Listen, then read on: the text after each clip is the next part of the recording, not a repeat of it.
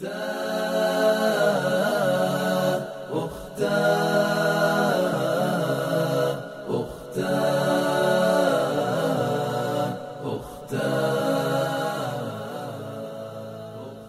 ćemo nastaviti ako bude inšala sa govorom i kazivanjima o vjerovjesnicima koje smo preuzeli iz knjige Kazivanje o vjerovjesnicima.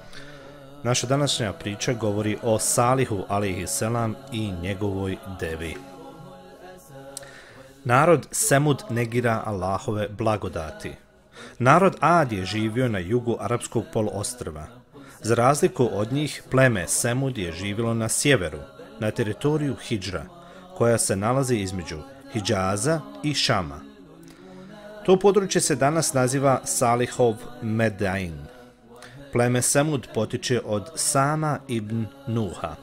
Imali su razvijenu arhitekturu, klesali su kuće u brdima i u njima stanovali zimi, kako bi se zaštitili od kiše i vjetra.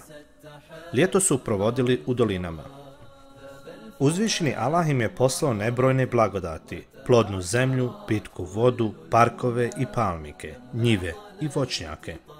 Međutim, oni su pored svega toga bili nezahvalni. Nisu vjerovali u uzvišenog Allaha i nisu mu zahvaljivali na blagodatima. Obožavali su kipove mimo Allaha, prinosili su im žrtve i bili im pokorni. Allah je htio da ih uputi i poslao im poslanika iz njihovog naroda, Salih, alaihi salam je bio plemenit i omiljen među njima. Počeo ih je pozivati u Allahovu vjeru. Podsjećao je svoj narod na Allahove blagodati, klesanje kuća u stijenama, i bašče i voćnjaci. Umjesto da mu budu zahvalni i pokorni, oni su obožavali kipove koji ne mogu donijeti nikakvu korist niti štetu. Narod mu je odgovorio, o Sali, šta je tebi? Mi te volimo i tvoju razboritost cijenimo. Šta te je obuzelo? Kako možeš naređivati da napustimo bogove naših predaka uz koje smo odrasli i tražiti da robujemo samo jednom bogu, skrivenom od očiju, koga niko nije vidio? Također su ga optuživali da želi steći metak, položaj i poziciju u društvu.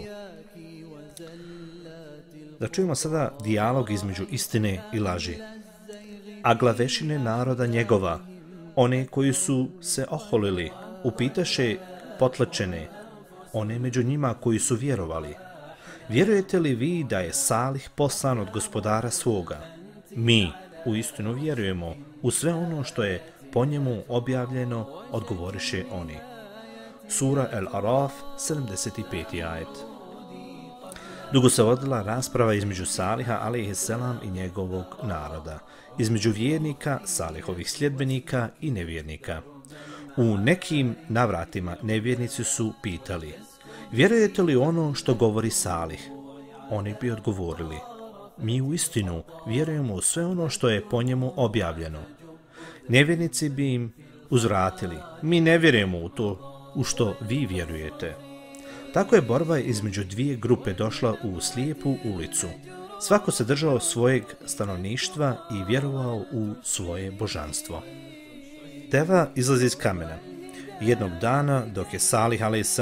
prolazio pored skupine nevjenika, on se podsmješljivo obratiše. Hoćeš li da vjerujemo ono što ti tvrdiš i ostavimo naše kipove? Salih odgovori. Da. Vjerovat ćemo ti uz jedan uvjet, rekoše podsmješljivo. Koji je vaš uvjet, upita Salih. Vidiš li onu veliku stijenu tamo? Želimo da učiniš da iz nje izađe velika deva, veća od bilo koje deve u ovoj zemlji. Da bi podsmjehjevanje bilo još veće, jedan od prisutnih reče. Želimo da ta deva bude steona i da se odevi nekoliko dana nakon izlaska iz stijene. Salih, a.s. je stajao i slušao ih. Kada su završili, reči im. Ako deva izađe, kao što ste tražili, hoćete li vjerovati u Allaha i slijediti put vjernika? Oni se pod smijehom odgovoriše. Hoćemo, ali ne zaboravi da treba biti steona. Ako ne bude takva, nećemo vjerovati. Tada prasnuše u smijeh koji su dugo u sebi postikivali. Upirali su prstom u Saliha, a.s. selam, koji je molio gospodara da im pruži dokaz kako bi postali vjernici i prihvatili njegov put. Govorili su mu, ne zaboravi da treba biti steona. Iznenada, Salih, ali se pojavi pred svojim narodom i pokaza ka stijeni, iz koje izađe Kamila u obliku koju su tražili, steona koja će se ubrzo odeviti. Mnogi ljudi su pali na tle govoreći vjerujemo Allaha i napuštamo kipove. Međutim, jedan dio plemena Semud nije prihvatio vjeru, govoreći Salih je očarao, nemojte mu vjerovati jer ovo je magija. Zavjera. Deva je bila stvarna. Hodala je putem i pasla travu. Ljudi su iz svih krajeva dolazili da vide tu ogromnu devu, mnogi su postali vjernici zahvaljujući njoj. Nekoliko dana kasnije deva je dobila mladunče koje je suda pratilo. Međutim, nevjernici su morali učiniti nešto kako bi uklonili taj dokaz i spriječili ljude da stupaju u Allahovu vjeru. Skovali su zločinički plan. Deva koju je Salih izveo nosi štetu našim interesima. Veoma je velika kada ode na pašu. Od nje naša stoka bježi i prestaje pasti. Zbog toga je nejaka. Osim toga, ova deva pase mnogo trave ne ostavljajući ništa za našu stoku i pije vodu iz bunara, tako da nama ne ostaje ništa. Salih im odgovori. Deva o kojoj govorite daje mlijeka koliko vam je potrebno za cijeli dan. Podsjećam vas da vam je Allah naredio da je pustite da pase po Allahove zemlji, da joj ničim ne naudite. Na kraju su se saglasili da jedan dan deva pije vodu, a narod njezino mlijeko, dok će drugog dana ljudi piti vodu. Međutim, njih nisu brinula voda ili mlijeko. Život im je zagorčavalo to što je vjernika svakog dana bilo sve više. Onaj ko bi vidio devu postao bi vjernik. To je srdilo nevjernike. Njihov glavešina je odlučio. Moramo se osloboditi Saliha i njegove deve, kako bi kipovi povratili svoj nekadašnji status. Šetanovi sljedbenici Nevjernici su se okupili kako bi sproveli zavjeru protiv Allahovog poslanika i Allahove deve. Jedna žena, gnjevna, zbog toga što joj je muž se priključio Salihu a.s. obećao je da će onome ko ubije devu pokloniti ljubav i postati mu žena. Prijedlog je prihvatio jedan mladić. Želio je osvojiti nagradu i oženiti se tom ljepoticom. Ujutro se zavjernici pripremili zasjedu devi. Kada se približila, jedan od nevjernika ju je pogodio kopljem, a drugi je udario sabljom po potkoljenici i oborio je na zemlju. Pao je Allahov dokaz koji su tražili. Ostali su pritrčali i počeli je udariti sabljama. Mladunče je počeo kriještati, pa su oni shvatili da će i njega morati ubiti kako bi se sa zemlje izbrisao svaki trag ovom dokazu. Pohitali su ka mladučentu i ubili ga.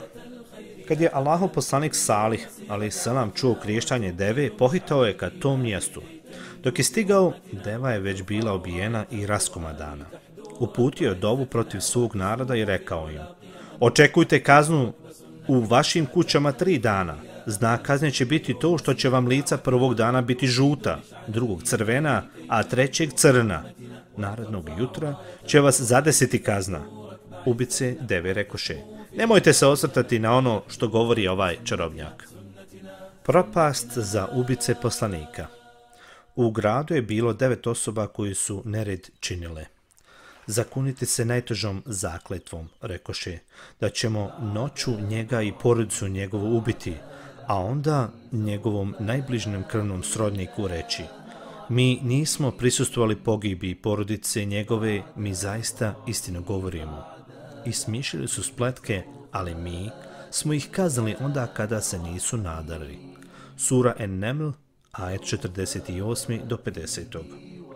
Deveterica nevjenika je skovalo zavjeru da te noći ubiju Saliha. Rekli su, Kada njegova rodbina upita koga je ubio kako bi izvršili odmazdu, mi ćemo se zakleti da ne znamo ko je to uradio. Na taj način ćemo se otarastiti Saliha kao što smo se otarastili njegove deve. Kazna za nevjernike. Međutim, Allah ne napušta svoje poslanike i dobre vjernike. Na putu prema Salihovoj kući na zločince pala velika stijena i smrvila svih devetoricu. Prije nego su ubili poslanika Saliha alaihissalam. Sutradan su preostali nevjernici primijetili da su im lica požutjela. Znali su da je Salih alaihissalam istinu rekao. Ipak ustrajalo su u tvrdoglovosti i nevjerništvu. Kada su im trećeg jutra lica pocrvenjela, shvatili su da će biti uništeni. Pokajali su se što su poslanika Saliha a.s. ugonili u laž. Tada je za pokajanje bilo kasno. Zadnjeg dana svog boravka na ovom svijetu stavili su miris i obukli čefine i čekali. Ali, šta su čekali? Čekali su kaznu, ne znajući šta će ih zadesti i odakle će doći. Kazna im je došla u vidu strašnog glasa s neba i potresa, od čega su im duše izišle. U svojoj zemlji su osvanuli mrtvi nepomični. Tako je uzvišeni Allah uništio Salihov narod zbog njihovog nevjerništva, tvrdoglavosti, ubojstva deve, izrugivanja poslanika Salih a.s. i odbijanja da vjeruju u njega. Oni su izršavali zločine odobravali ih, izrugivali se poslaniku, odobravali zlo i nisu podržavali istinu. Zbog toga su svi kažnjeni. O tome Boži poslanik sallallahu alejhi ve kaže: Uzvišeni Allah neće kazniti sve ljude zbog dijela pojedinca, osim ako oni budu gledali kako se grijesi čine i ne osude ih. Iako to mogu, ako se budu tako ponašali, Allah će kazniti i počinioce i ostale. Nakon što je uzvišeni kaznio nevjernike iz plemena Semud, a Salih a.s. i vjernicu su ih gledali, Salih a.s. reče O narode moj, prenio sam vam poslanicu gospodara svoga, opominjao sam vas, ali vi ne volite one koji opominju. Sura El Araf 79. ajet. Džabir, radijalahu anhu, prenosi kako je Boži poslanik sallallahu alaihi veselem prolazeći pored Hidžra rekao Nemojte tražiti dokaze, to je tražio Salihov narod. Došao im je dokaz, odnosno deva, s ove strane, a otišao na onu. Oglušili su se o naređenje svoga gospodara, pa su je zaklali. Deva je pila njihovu vodu jedan dan, a one su pili njezino mlijeko zaklali su je, pa ih uništi strašan glas, kojim je Allah usmrtio sve što je pod nebesima, osim jednog čovjeka koji je bio u svetom mjestu. Ko je taj čovjek, Boži poslaniče, upitaše Asabi? To je Ebu Rigal, koji je izašao iz svetog mjesta, zadesilo ga je što je i ostale. I ovog puta je na kraju pobjedila istina nevjernicu su stradali, a vjernike Allah spasio kazne. Sa ovim, poštovani slušalci, završavamo našu četvrtu priču Salih alaih selam i njegova deva. Naredni put, inšala, nastavit ćemo sa petom pričom i govorit ćemo i rećemo nešto o Ibrahimu alaih selam. منتهى أمني وقصدي يا